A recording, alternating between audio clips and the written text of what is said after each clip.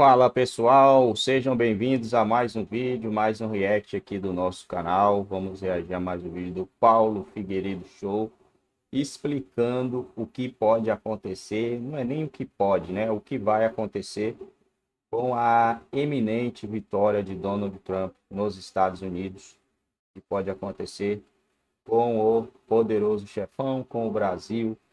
Vamos é, assistir juntos aí. Brasil sofrendo sanções, o dólar vai à lua e podemos ter sim impeachment de duas figuras aí do nosso país, né? Eu acredito e espero que a gente se livre dessa situação o mais rápido possível, porque está cada dia mais complicado sobreviver nesse país onde as coisas estão todas caras. Tá difícil viver aqui. Mas eu posso dizer que politicamente a situação não está boa no Brasil. E aí a gente relatou o que estava acontecendo no Brasil. Eu nunca vou poder dizer o que, que o Trump disse, né? mas é, eu posso adiantar o que, que o Eduardo tornou público, que é vai dar merda. Vai dar merda. Essa é a resposta que o Bolsonaro, o Jair, talvez devesse, devesse ter dado no programa do, do Faroeste vai dar merda. E eu já disse aqui, mesmo que o Trump não vença, e parece que ele vai vencer, mas digamos que venha a cartada Michelle e tal, alguma coisa assim, ou que as eleições não sejam como a gente espera, é, é quase certo, ou é uma é, a probabilidade estatística de que os, os republicanos tenham a maioria no Senado é gigantesca e é o Senado que controla a política externa dos Estados Unidos. Um, um senador em comissão tem um poder inestimável, inclusive por isso que eu tenho é, me esforçado tanto para que a gente trabalhe mais no Senado a partir de agora. É, a lei de repressão transnacional, que vai ser apoiada, eu já falei aqui no programa, com apoio bipartidário, ela por si só, porque ela obriga o presidente a tomar uh, atitudes contra oficiais de governos estrangeiros que fizerem repressão política dentro dos Estados Unidos. A gente já documentou amplamente no próprio Congresso a atuação do Alexandre de Moraes nesse sentido. É batom na cueca. Nem precisaria do que vai ter, que é o Brasil Freedom and Democracy Act, que eu disse para vocês que vai acontecer, continuo dizendo que vai acontecer, não sei exatamente a linha do tempo, mas eu tenho, diria, 98% de certeza que até a posse do Donald Trump, o Brasil Freedom Democracy Act já vai ter sido apresentado, vai ter apoio de muitos deputados, alguns deputados talvez até do próprio Partido Democrata e certamente, ou muito provavelmente, o endosso do próprio Trump. Então a resposta que o presidente Bolsonaro uh, não quis dar, talvez de forma tão explícita, e eu tomo a liberdade aqui de dar, é: é claro que o governo brasileiro e os agentes públicos serão sancionados se o Trump voltar. É evidente que serão. Mas eles podem ser sancionados, inclusive, mesmo que o próximo presidente seja democrata. O que, que tira o Brasil dessa enrascada? Se o Alexandre sair, se os inquéritos ilegais forem encerrados, se os presos políticos anistiados forem anistiados ou seus processos forem anulados, que é melhor do que, os, os uh, do que a simples anistia. Ora, ontem eu conversei com vocês, uh, alguns de vocês viram, porque eu transmiti nas minhas redes sociais do exterior, então só viu quem estava usando VPN. Eu fiz uma entrevista em inglês com a maior especialista em Interpol do mundo. Chama Michelle Aslan. Uh, eu fiz uma entrevista de mais de uma hora com ela, em inglês, que vai ser depois, posteriormente, uh, dublada por inteligência artificial para português. Mas nessa ação, ela explica: olha, nessa entrevista, ela explica: olha, é possível que os perseguidos do, do 8 de janeiro no Brasil entrem com uma ação na Interpol conjunta para retirada do nome deles. E o Brasil pode passar a ter o status que países como a Venezuela têm, onde quando chegam ordens para ser colocado na, na, na lista do alerta vermelho, os nomes passem a ser ignorados. É possível, inclusive, que eu faça um crowdfunding nessa direção para poder pagar essa advogada para esse apoio acontecer, é, para essa ação acontecer. Isso é uma coisa que a gente vai discutir nos próximos dias.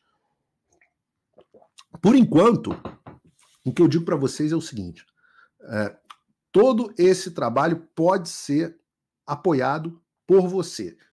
Me parece é, um acidente de trem. A gente está vendo esse dólar alucinado. Hoje, como é feriado aqui nos Estados Unidos, dia da independência e tal, o dólar deu uma boa recuada. Uh, e eu já falei aqui no programa que eu não vejo fundamentos imediatos para o dólar subir tanto, mas vejo a expectativa desastrosa para o Brasil. Essa expectativa desastrosa que vem gerando esse, uh, esse, esse, uh, essa explosão cambial, né, ou implosão cambial do real. E, e essa expectativa desastrosa, ela vem de um dilema. O dilema que o governo Lula vive, né? Eu acho que a Margaret Thatcher, que tem uma frase, se eu não me engano é da Margaret Thatcher, alguém me corrija aqui no chat se não for, mas a Margaret tem uma, uma frase famosa que diz: o socialismo dura até acabar o dinheiro dos outros. E o Brasil vive esse dilema.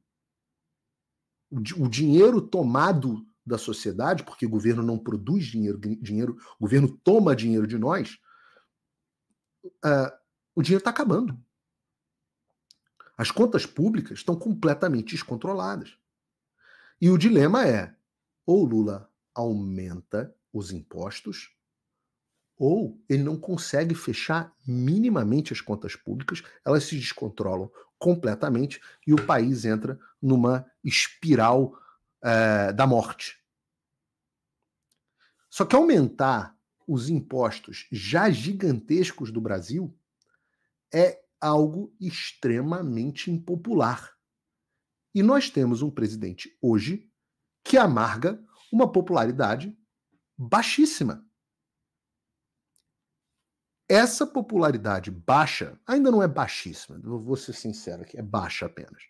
Essa popularidade baixa do Lula uh, que pode se tornar baixíssima caso ele continue performando mal na economia e com uh, aumento de impostos, pode sim levar ao impeachment.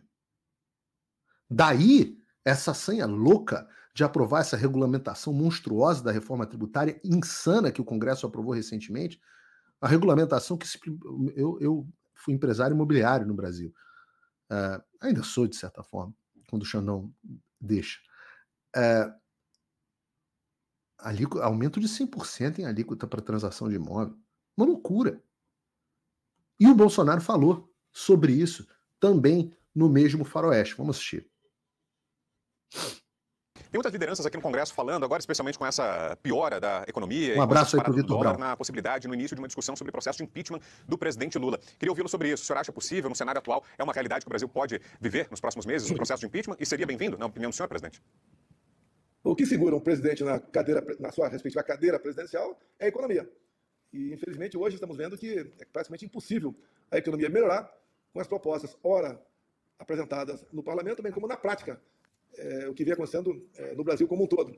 Estava agora há pouco discutindo aqui, conversando com o Altineu Cortes, que é o líder do partido, sobre o projeto de lei complementar que regulamenta, então, a, a, a reforma tributária. São 500 artigos.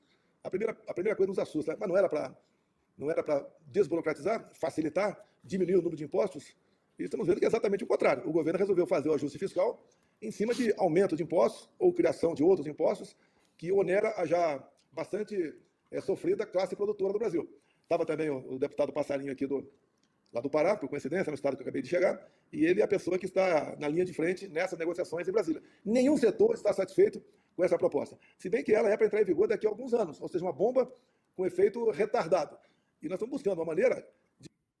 Essa bomba com efeito retardado, ela é feita para pegar retardado mesmo, é, aliviar a pressão política disso acontecer no curto prazo de primeiro ser contra essa proposta como um todo. E depois, caso venhamos a ser derrotados, atenuar as consequências para a classe produtiva do Brasil. Ou seja, ninguém entende o que esse governo faz, pelo que me parece. É uma excelente proposta o que está sendo feito para quebrar o Brasil. Que, afinal de contas, essa, essa turma de esquerda não consegue ficar à frente muito tempo de um país organizado, economicamente falando. Então, eu acho que dificilmente é, as medidas tomadas até o momento. E o que está. O que está dizendo é que a esquerda não consegue Ela, ela precisa do caos para se manter no poder. E o plano é o caos. A dúvida é se o Brasil consegue reagir ao caos antes deles tomarem uh, os meios absolutos do controle do poder, se é que eles já não os têm. Você na prática com o mercado não terá vida longa à esquerda. Agora, ninguém entende como é que, gente, como é que nós perdemos as eleições, né? É, o próprio, a própria forma como o povo sempre tem me recebido ao longo desses, desse último ano e meio, algo relativamente que não dá para entender. A forma carinhosa, respeitosa e bastante participativa por parte da população. Mas vamos considerar isso página virada. Eu tenho esperança que nesse trabalho que estão fazendo por todo o Brasil, não só o meu partido, algumas outras pessoas de outros partidos também têm feito um bom trabalho também. Não vou dizer que somos aqui os virtuosos dessa história toda. É, teremos uma grande guinada na política em outubro do corrente ano. Olha, eu... em outubro do corrente ano é, o, é eleição municipal. Não sei se a gente vai ter essa virada na política toda, até porque é, o presidente optou por não lançar um candidato de verdade na principal capital do Brasil e talvez em várias outras. Eu tenho ouvido boatos sobre um acordo, uh, mais um acordo, que eu não sei se envolve o presidente ou não, mas por não lançamento de um acordo que teria sido feito com aquela elite do PMDB de São Paulo, e eu tenho que contar para vocês, porque mesmo que sejam rumores, uh, que fiquem públicos os rumores e vocês decidam o que vão fazer com eles, mas esses que chegaram a mim chegaram por deputados, para vocês saberem, múltiplos deputados dizendo: olha, existe um acordo hoje do PL com o PMDB, com aqueles caras do PMDB de São Paulo, é, para não lançar candidatos em várias capitais, e isso vai gerar uma certa blindagem para o Bolsonaro. Bom, pessoal, é isso aí, né? E nessa sanção, obviamente, quem vai sofrer é o povo brasileiro, né? Porque o Brasil sofrer sanções é automático o dólar bater mais de 10 reais. Automaticamente, só de ser cogitado. Na vitória do Trump, gente, se ele vencer, né? Tem tudo para vencer. O dólar já vai tomar uma, uma proporção né, gigantesca. Gigantesca. Vai ser um dia de mercado financeiro bem agitado, né? Tende a ser um dia bem agitado no mercado financeiro. Sempre é, né? Precisa ser adivinhão para saber que em eleições presidenciais o mercado dá uma, uma oscilada gigantesca. E a gente está no meio de tudo isso, o povo brasileiro. Eu só temo que o Senado, o Legislativo, sei lá, nível do rabo preso que esses caras têm com o poderoso chefão, esses caras cheguem ao ponto de não impeachment ele. Porque dentro, cara, de uma de um cenário ruim, tá? Dentro de um cenário ruim, o impeachment do poderoso chefão é certo. Cenário ruim. Foi um cenário caótico, os presidentes das duas casas maiores aí tem algo muito podre. Muito. Se esses caras não fizerem isso e deixar com que o Brasil sofra sanção, é porque eles têm. E aí eu não sei se os próprios deputados e senadores poderão empichar é, os presidentes das duas casas, né? Tem essa também. Eu não sei se tem essa opção aí. E se tiver, pode ser que aconteça isso. E não faz sentido o Brasil sofrer sanção americana por causa de um único ser humano, né? Que se acha dono do, do planeta Terra. Infelizmente, a gente tem isso aqui no Brasil e temos pessoas presas. Uma senhora de mais de 60 anos, porque ela proferiu palavras contra o poderoso chefão, ela está presa. Palavras assim, né? Não foi para ele, é, foi como você tá na sua casa e fala mal de alguém. Isso, quando for dar cadeia, não vai ficar ninguém na rua. Vai ficar só os bandidos na rua, porque os bandidos roubam e é liberado, né? As pessoas que falam mal da outra, essas aí vão ser presas, segundo poderoso chefão. Aí, aí vai ficar complicado. E quem que vai pagar o salário dele? Será que é os bandidos? Porque os bandidos não trabalham, não pagam imposto. as empresas vai fechar tudo porque todo mundo fala mal de todo mundo. Todo mundo tem alguém que não gosta e tem o direito de falar, né? Você tem o direito de falar mal, gente. Quem você quiser. É um é... Todo mundo fala mal de todo mundo. Não adianta falar que não. Todo mundo tem aquela fofoquinha. Só não pode ser falso, né? Só não pode ser falso, mas que todo mundo. Você pode ter um melhor amigo. Em algum momento, em algum momento não. Várias vezes você vai falar mal dele, vai falar um defeito dele. Você só não pode falar, pô, não gosto de fulano, mas aí de repente você tá lá lambendo o saco da, da pessoa. Isso aí já, já é falso. Vai falar mal, a gente fala mal até da mãe, imagina se não vai falar mal. Não vai falar mal de uma pessoa que tá arrebentando com o país, né? Não é crime isso. Não é crime. Você não pode chegar na cara da pessoa e ofender ela, né? Humilhar ela. Isso aí é errado. Na cara da pessoa por trás, ela não tá vendo, que os olhos não vê, o coração não sente. Não adianta ser hipócrita, tá? Não adianta ser hipócrita nos comentários que a gente fala mal até da mãe.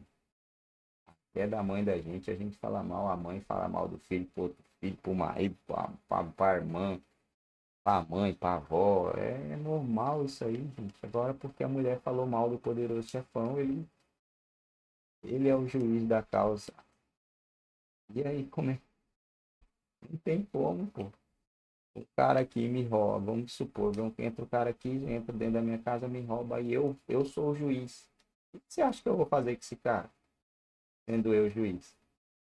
É óbvio, né, gente, que eu vou ferrar ele. É óbvio sendo o julgador da causa, eu vou ferrar o cara. Tá na cara, né?